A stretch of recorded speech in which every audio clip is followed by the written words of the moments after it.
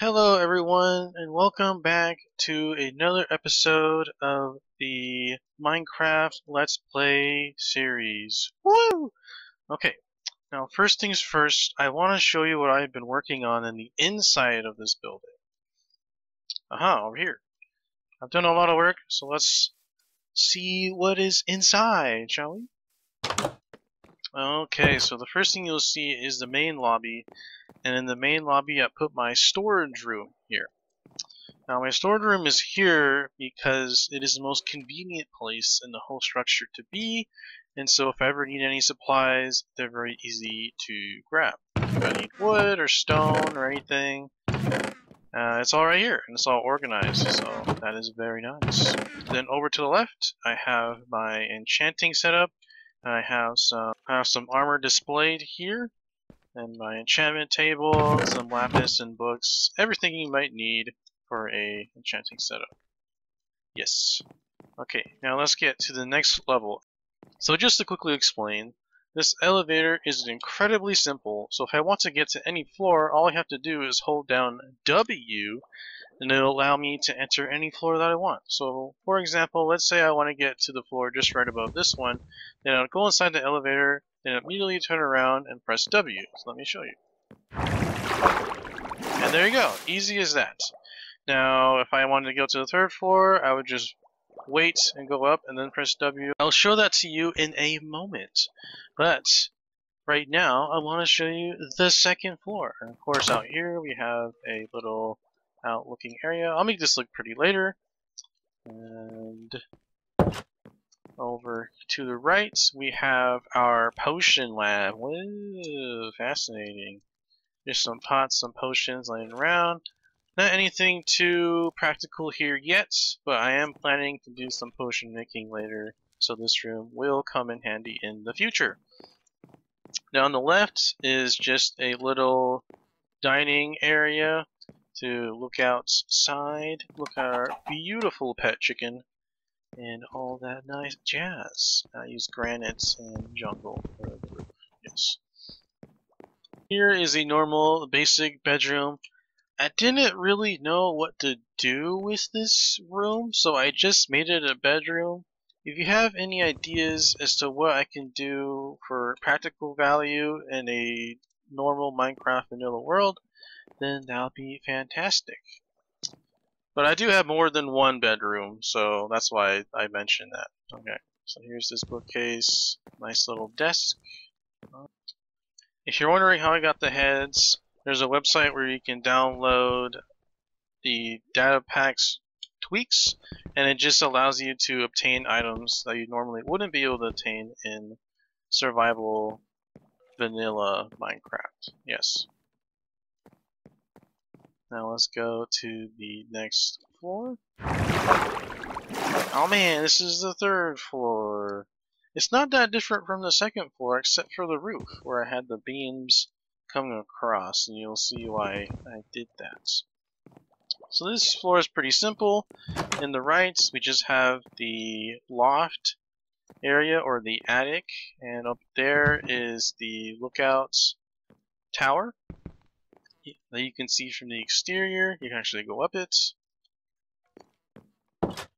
Then over here is just another bedroom. Uh, nothing extraordinary here, just some wardrobe, some beds. Same with this one. Not really sure what to do with this room, so if you have any ideas, I would appreciate them. Okay. And over here, not too much going on, just the same as the second floor. Now let's go to the fourth floor. On the fourth floor, we have the major dining room, which is basically where the owners of the house would sit to eat and have wonderful cake. Aha. Over here is just a little storage compartment. Just need to store anything, like a closet. Up here is just another attic kind of loft area, but a little bit more simplified, a little bit smaller than the last one. Nothing too complicated. And let's head to the roof. On the roof here, I didn't make many changes from the initial exterior design except for these entrance and exits to be able to get through the building. And here it's just normal, nothing crazy.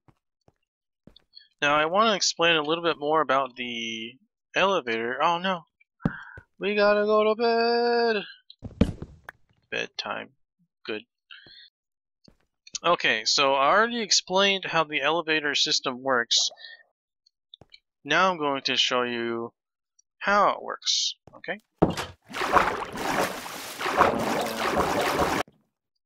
Let's say I want to get to the third floor, right? So I just go in here, and then what I basically did is I didn't press W on floor 2, but I pressed W on floor 3, so I can pop out, and I'm at floor 3. I just found it as a super easy and convenient way to be able to have a multi-leveled house and having an elevator that takes a very little amount of space and having absolutely no redstone. The only downside is that you do need two elevators, one to go up and one to go down. Okay, now let's talk about what I'm going to do in this particular episode. I have a basic plan, and that is to do a little bit of building on the outside courtyard. Since it's not really a courtyard yet, is it? It's, it's just kind of kind of basic, kind of empty. So just one moment, I'll gather some planning supplies to plan out how the courtyard will look. Now we have our planning supplies, which is just some cyan concrete that I have. Now, I was thinking that we would just have a pathway that would come away from here, and then we would have a bit of a area where we have a fountain, just like a circle area. It's not a perfect circle, but we'll iron out the details later. Okay, then I did want pathways if I wanted to, where I could put a barn somewhere, or if I wanted another place to put resources or other kinds of farms, then I could do that. I feel like a pathway leading through here would be good. I also wanted to put a pond or small lake kind of right here. Okay, I'm back with some oak signs. Oh yeah. Now let's put a sign here and put small lake. Okay, there we go. Now, what else do we want to put around here? What would look excellent on front of our house? Now, I think right here, what we should have is a little bench area. So maybe this goes out, then ends with maybe like a half circle. And then on the left, there's going to be the bench, which is going to be next to the tiny little lake area. Then over here, we'll have a bench that looks over the forest and maybe a custom tree here, there, you know, wherever feels good. Okay. And I think that for this next part, I'm going to have a little time lapse. And for me, it's going to be a while, but for you, it'll just be a few short seconds. So let's get right into that.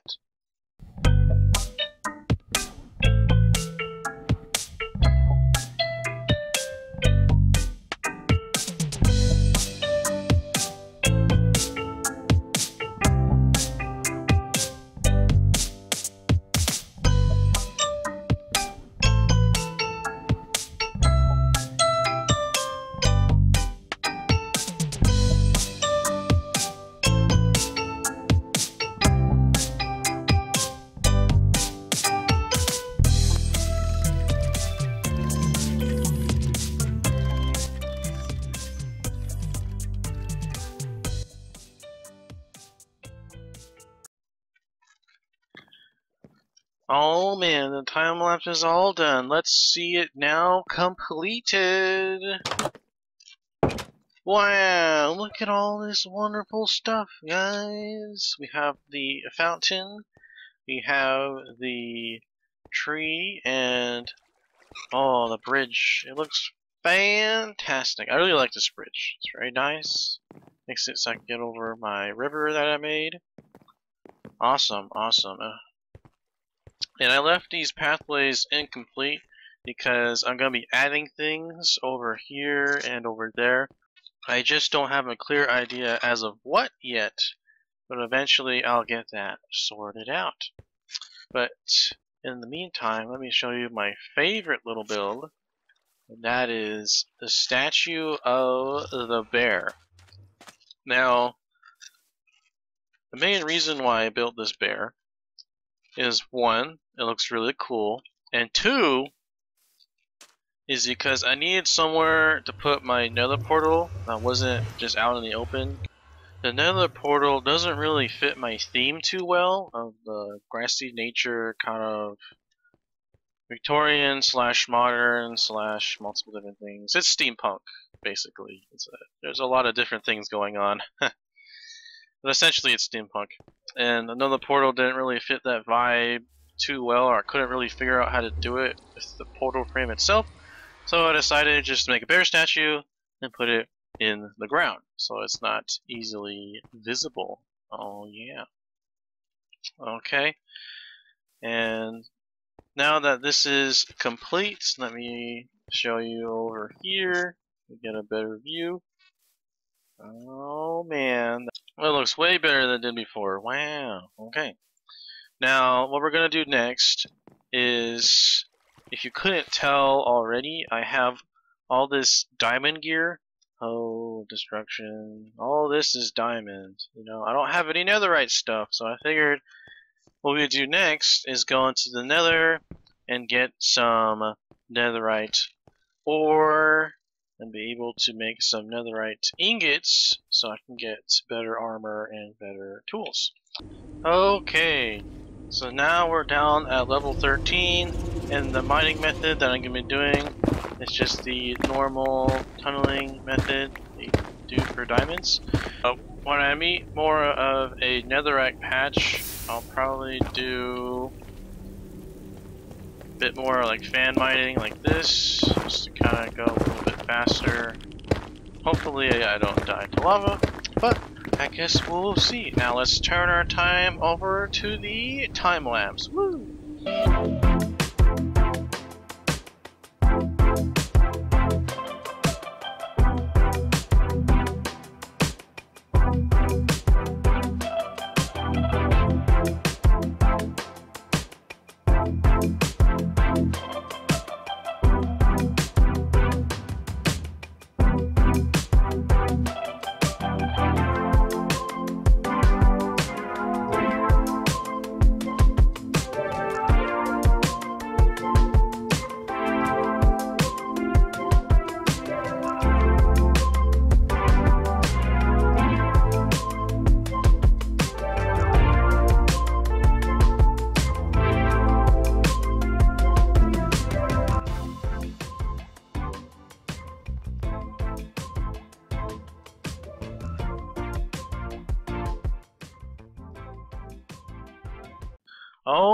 We're back from our nether trip. Let's see how much ancient debris we have. We have 26. So let's see how many bars that will make.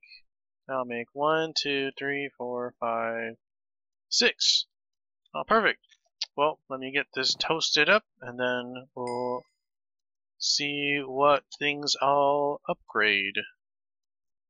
Now that all of our netherite scrap is all nice and smelted. Let's get our gold. I don't have too much gold in there, but I have some more in here.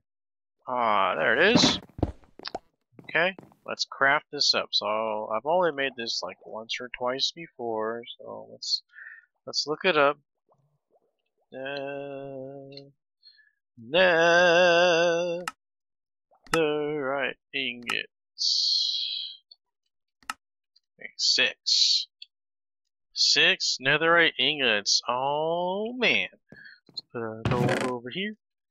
Put over here. Now let's see what we want to upgrade. So I think first things first, we need to do our pickaxes, and I have some of the tool bench upgrade thingies up in my ceiling, because why not? Okay, let's do irony 2. Oh man, gonna be a netherite pick. Coolio.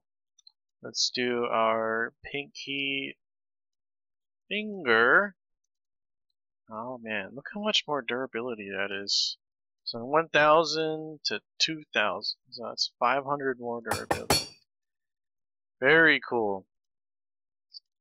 Now, let's see, we have four more left, but I really want to do my hoe because that gives you an achievement.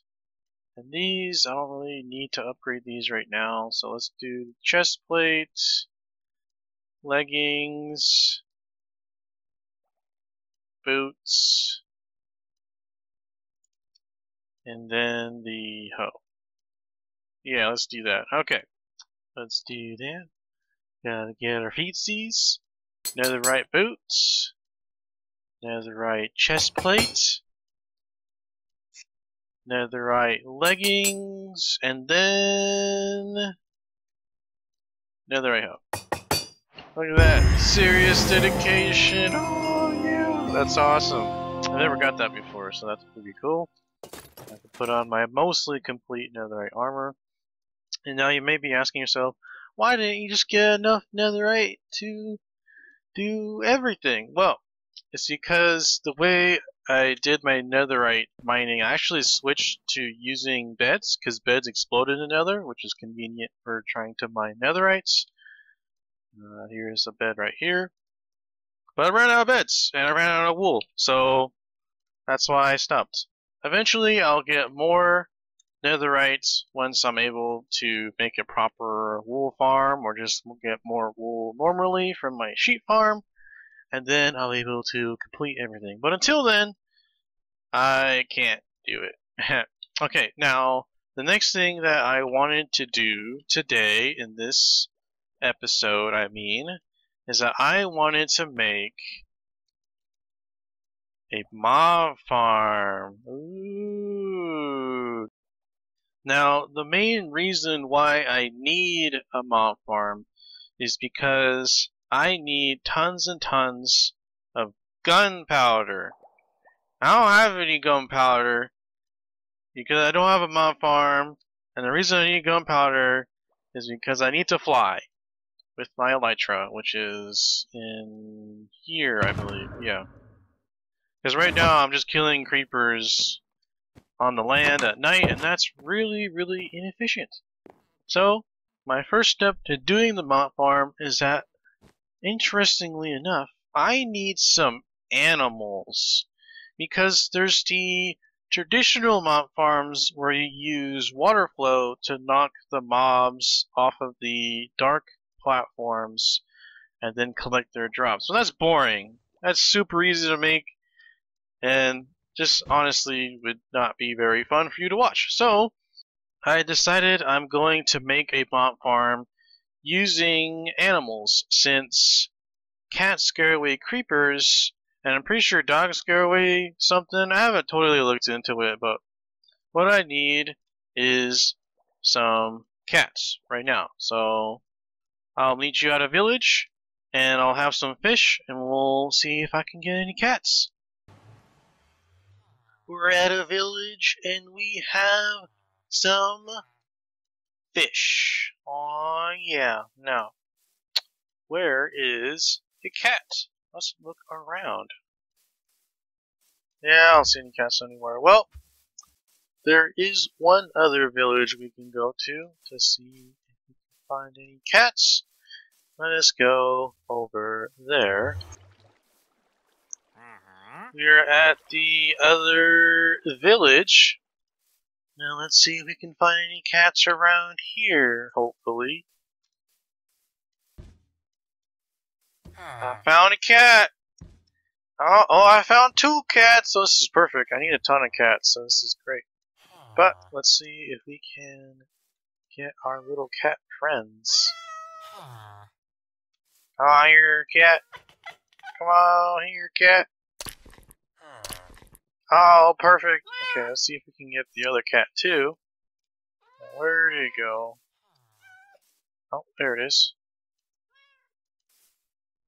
Come here, cat. Kitty, kitty, cat. Oh, it's running away. Come on. Where'd it go? need this cat so bad. no! Come on, cat. Come here, cat. Oh, She's walking away.